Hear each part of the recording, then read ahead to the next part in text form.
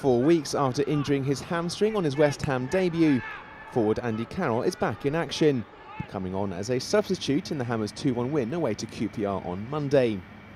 After getting 20 minutes under his belt at Loftus Road, Roy Hodgson will be hoping to call on the 23-year-old for England's next pair of World Cup qualifiers.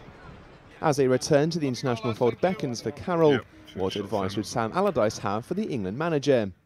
I'd speak to Roy personally and um, just give him the, the full rundown on Andy's lack of match fitness. He's woefully, woefully short of match practice and uh, he's only uh, come back from the Euros, from his holidays. Uh, I think he played no more than twice for Liverpool. Um, I don't know whether he come on a sub in and uh, played 68 minutes for us and played 20 minutes now. So we're woefully, woefully short of match fitness, which is, uh, we all know, a delicate thing for a manager to uh, to have to deal with. And I'm sure Roy will deal with that in the right way.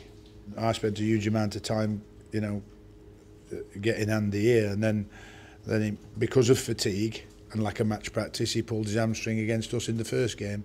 So we, we have to manage that, and, and I think that um, England will be sensible, and, and, and if they do call him up, we'll manage that as well.